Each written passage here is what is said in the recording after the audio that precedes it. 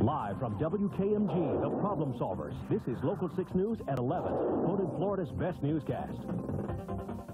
Tonight, a local mother is fighting for her life, hoping for a medical miracle. She is undergoing a procedure that has never been seen before on television until now. An experimental stem cell transplant that could save her life. Miguel Piedra is bringing us Christy's courageous and inspiring story. I had so many obstacles in my way, so many people and things and reasons to, to try and keep me from here. More than 1,100 miles from her home in Longwood, 28-year-old Christy Tubman embarked on a life-saving journey to Chicago. I knew somehow I'd find a way. I just knew I wasn't going to let them cut me up, and I wasn't, you know, I said, if I don't get to Chicago, I'll die first.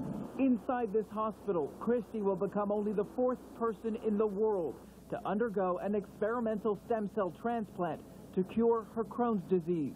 Crohn's disease is a disease in which your immune system attacks your own intestinal tract. A procedure never before documented by a television news crew. I feel extremely lucky, extremely lucky, because I look into the, the saves of the chat rooms and the computer alone and out into the world that all there's hundreds and hundreds and thousands of people out there that are sick and they don't have the hope that I have today available to them. Hi, Christy. Her hope lies in the hands of Dr. Richard Burt and his team at Northwestern Memorial Hospital. I trust Dr. Burt was obviously with my life. Here, Christy will spend the next two months having her immune system revamped and retooled. It's a risky procedure. There's an unknown. Showing incredible promise. Our cameras were granted unprecedented access to Christy's transplant, where doctors will take her own blood stem cells, clear them of Crohn's disease, and reintroduce them. Treated with drugs or surgery. You know, the traditional things that have always been available out there. But it never really cured anything. It, um, I give my son to fix my legs. It hurt really bad. It's early May. Her mother by her side, Christy, has already undergone several days of testing. When will they know how many good cells they get out of that? And a week of chemo. She's now ready to have her stem cells harvested. Yep. From a catheter in her neck, nurses draw the blood through one tube. This machine separates her cells, then pumps her blood back into her body. But the time away from home is beginning to take its toll on Christy. I get homesick a lot because you're so far away and I haven't seen my son for the better part of a month. She knows she's getting close. From here, her blood is taken to a lab where the medical miracle takes place. All the negative cells will wash away, which is actually the purpose of this whole thing is to remove the unwanted cells. For three hours, her cells are run through this machine, then separated. Take a look as her Crohn's carrying cells stick to these special magnets. The magnet will come out and actually hold the beads with the cells and rinse out all the.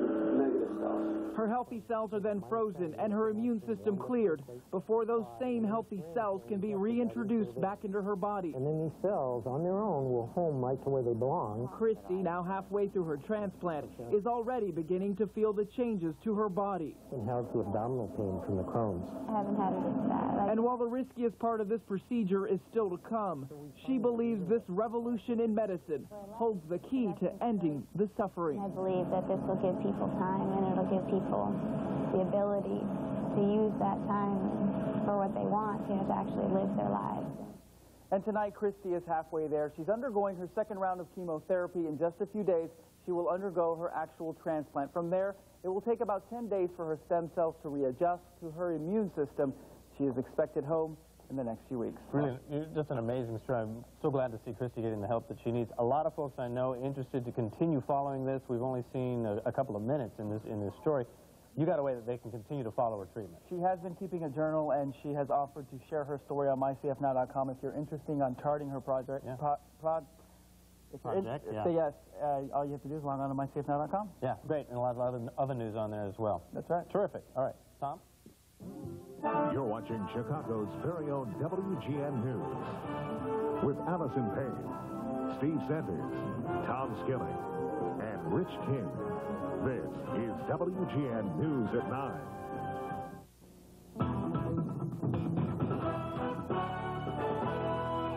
On the medical watch tonight, a new way to treat Crohn's disease when all else fails. Yeah, there is no cure for Crohn's, but now there's new hope that stem cell transplants may translate into a cure around the corner. WGN's medical reporter Dina Bair has more now on how doctors believe it will help patients conquer the immune disorder. After living for 20 years with and against Crohn's disease, I've come to a point where all medications have failed. Literally nothing helps. It does help emotionally for Kathy Duffy to document her feelings in a journal. But there are days her disease leaves her too weak to even do that. Really bad diarrhea and stomach pain before. Um, really, I would go until I couldn't go on anymore, whether it was um, the pain, the energy level.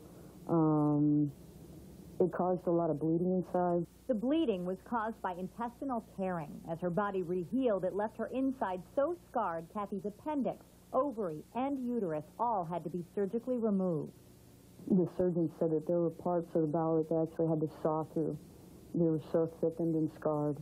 And the scars weren't just physical. 20 years of defeat in treatment left Kathy feeling like she wanted to give up her fight. If it was for me to be ill, um, then then that was, you know, I, I could accept that as God's will. Northwestern doctor Richard Burt told Kathy she didn't have to carry the burden of Crohn's forever. Perhaps inside her sick body were cells that were the key to making her healthy. The person has an immune system, but it's it's become a terrorist immune system. It's attacking their own body, and it's very, very aggressive, and it can't be controlled. So let's just destroy it, and then start over with new stem cells and generate a new immune system.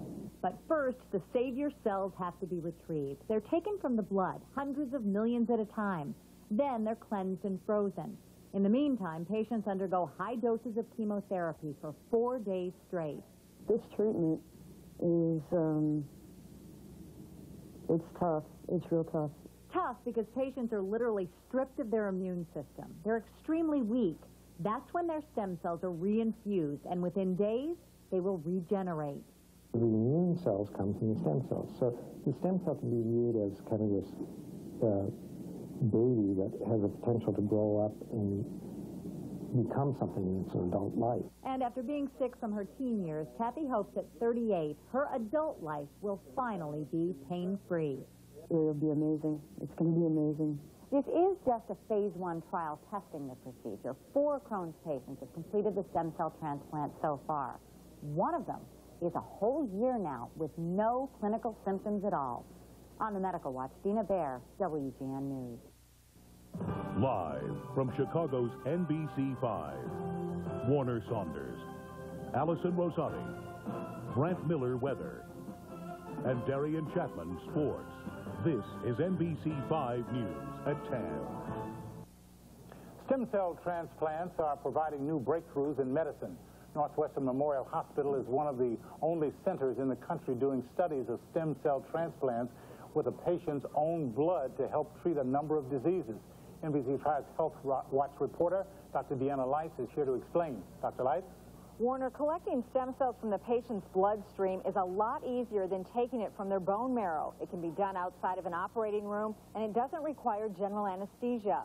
Northwestern is using the procedure to treat a number of diseases like lupus, multiple sclerosis, Crohn's disease, and rheumatoid arthritis. And doctors are seeing some remarkable results. I mean, it didn't affect me until like last year. It started affecting me. 29-year-old Susan Glenn tries to communicate, but it's difficult.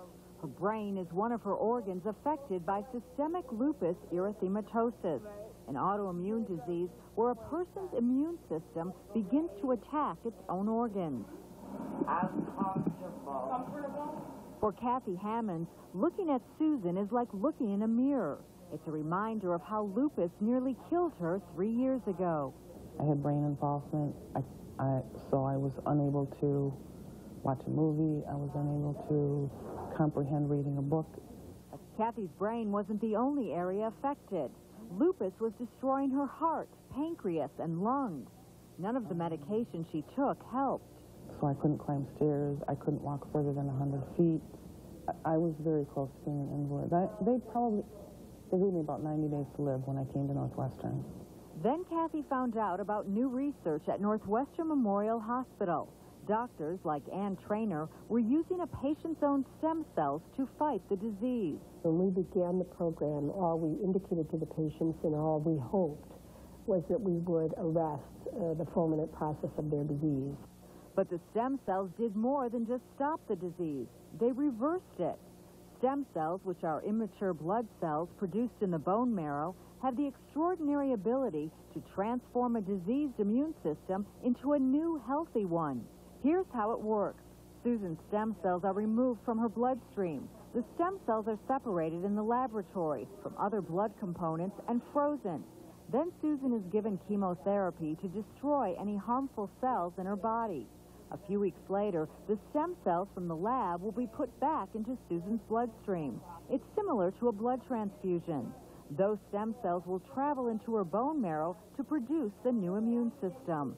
Dr. Traynor says the results have been remarkable. We never anticipated the extent to which lungs, hearts, kidneys, and brains would be able to return to normal. It will take a few weeks to determine whether Susan's transplant is a success. For Kathy, it's been a lifesaver.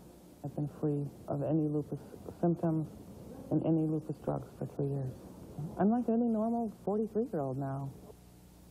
And Dr. Traynor says once Susan's transplant is complete, she should be off for most of her medicine within a couple of months, and within six months, should be getting back to normal. So we'll definitely follow up with her. And she's the 21st person to have this procedure for lupus, and Kathy was the fifth. It's remarkable. Everybody's doing well. That's such good news. Thank you.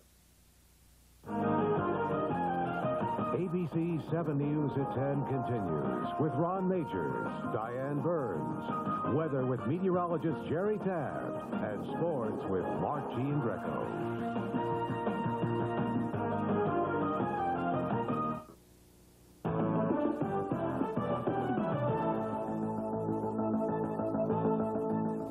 special segment tonight, Managing MS. Doctors are now testing two procedures that hold promise for people who have multiple sclerosis. Health Beat reporter Sylvia Perez is here with details on the experimental treatments that appear to be putting the disease on hold. Sylvia? Diane, multiple sclerosis is a crippling disease affecting an estimated 350,000 Americans. Symptoms can be mild or so severe it leaves patients bedridden. For many people, medication is effective, but for others, the drugs just don't work. That's why researchers are now looking at ways to essentially trick the body into healing itself. I never believed that I could get this sick. Matthew Kruzman was just 29 when he was diagnosed with MS. From the start, medication didn't work. Matthew's symptoms never let up. He was either blind or partially paralyzed. So he opted for a different experimental treatment called stem cell therapy. The concept here is then to go in and kind of just destroy the immune system and start all over with brand new stem cells to generate a new immune system. Northwestern Memorial Hospital in Chicago pioneered stem cell transplants for MS and other neurological disorders. Researchers here are beginning a new trial for MS patients who are not doing well on medication but have not yet suffered much disability. It's kind of a concept that, you know, the brain is a very vital organ.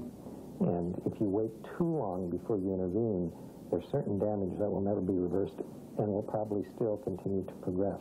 So you need to move early. Matthew knew this controversial therapy carried the risk of death, but his gamble so far appears to have paid off. One year after therapy, he is symptom-free. He says being able to make up for lost time with his children was worth the risk. I can play with my girls again. I can take them for walks. I could do all kinds of things. I can brush their hair, all the things I couldn't do while um, I was being affected with MS. A reminder, both of these therapies are still experimental and are done only in clinical studies. Dr. Richard Burt with Northwestern is emphasizing that the latest MS stem cell trial is not for patients who are doing well with interferon. And while the treatment does appear to be very successful in stopping the progression of MS, the goal is to see if stem cell transplants can actually prevent disability. Ron and Diane. Very exciting. Isn't that great? Yes. Your money. Experimental health treatments, potentially life-saving. So why shouldn't insurance pay for this? From NBC News World Headquarters in New York, this is NBC Nightly News with Tom Brokaw.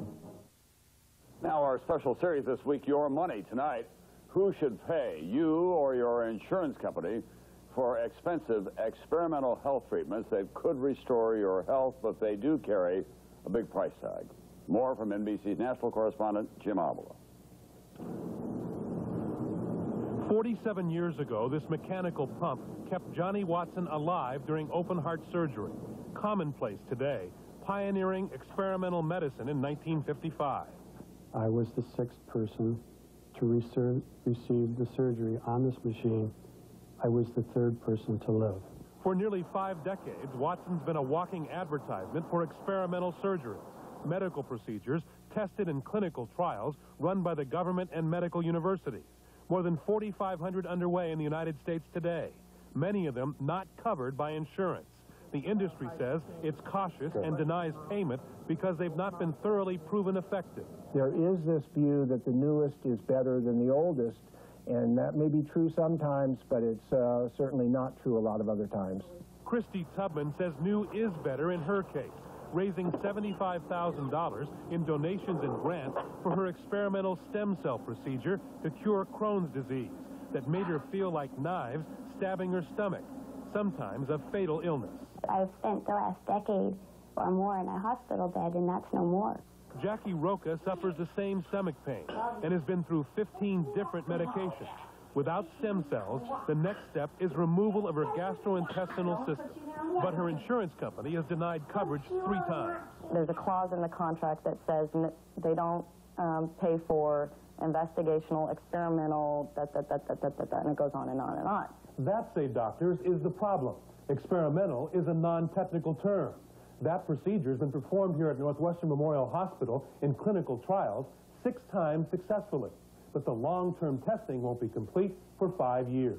We've taken people who have failed everything with horrible disease, a lot of suffering, and, you know, they've become clinically normal. Some insurance companies do cover some clinical trials, but the industry contends covering them all would drive rates up, expensive and unproven results, even if experimental surgeries can keep patients alive for decades. Jim Avila, NBC News, Chicago. For complete coverage, this is KETV News Watch 7 at 10. A doctor is convinced he has a treatment for multiple sclerosis, rheumatoid arthritis, and other autoimmune disorders. The catch, the treatment itself may be deadly. So far, though, there are only success stories among patients willing to take a risk for relief. One of those patients is from Council Bluffs and went to Chicago to get his treatment. Health Watch investigator Margaret Booman has more. You're watching what could be a revolutionary treatment. A stem cell transplant for an autoimmune disorder. The patient is Brian Hill from Council Bluffs. He has Crohn's disease. One day I went, I went to the doctor at the med center and I said, I'm 24, I'm living at home because I had to move back in. I can't work a full-time job. Something needs to be done. Brian was so fed up with Crohn's disease, he was willing to try just about anything, even if it went against his local doctor's advice and it meant traveling far from home. I'm just, I'm ready to try something new. I, I don't, I don't care about the risks, really, to be honest, so.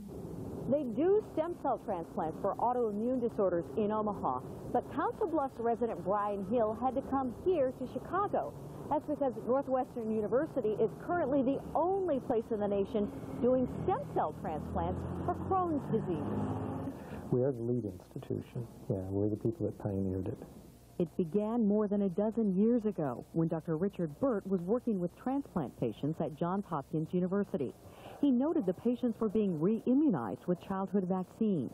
Dr. Burt theorized the patients needed to be revaccinated because high-dose chemotherapy and the resulting immunosuppression had destroyed their body's immunological memory of the childhood vaccines. Dr. Burt thought, why not use the same process to destroy immunological memory in patients with autoimmune disorders? Then, with a stem cell transplant, they'd have a new disease-free immune system. It works. That's the important thing. Date, Northwestern University has done 75 stem cell transplants on patients with autoimmune disorders. The treatment is potentially fatal. And, and we actually tell patients to expect a 5% chance of mortality. High-dose chemotherapy dramatically suppresses the immune system. The patient feels awful and is at risk of dying from minor infections. That's why this treatment is restricted to patients who failed all other therapies. But you were told, basically, in effect, it's over. Oh, yeah, we went to the Mayo Clinic, and they said, we can't do anything for your sister. We're very sorry, and it's unfortunate. Julie Wick's sister was dying from lupus. Even so, her doctor said a stem cell transplant was too dangerous. Well, what he indicated is that there's no way that she'll be able to survive that treatment. And I said, she's dying today. So you're telling us that you want her to die in the hospital without hope? Months after the transplant, Julie's sister shows no signs of lupus. Julie wants to share her story because she believes patients deserve to know. There really is hope. And I just want to do whatever I can to share that because it's an amazing gift. But the patients who've lived with serious and debilitating disease, lost their job, had to neglect their families, etc., they want a solution.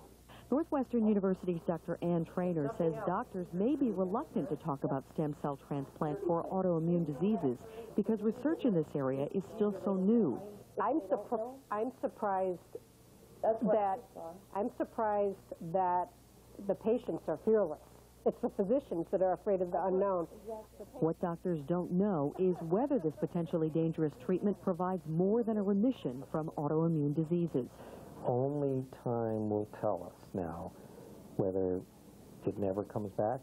On February 11th, Brian Hill became the seventh American patient with Crohn's to get a stem cell transplant. Are you, are you looking forward to the day where you can be independent, working on your own? Yeah, that's the goal. That's the goal of this whole thing, so.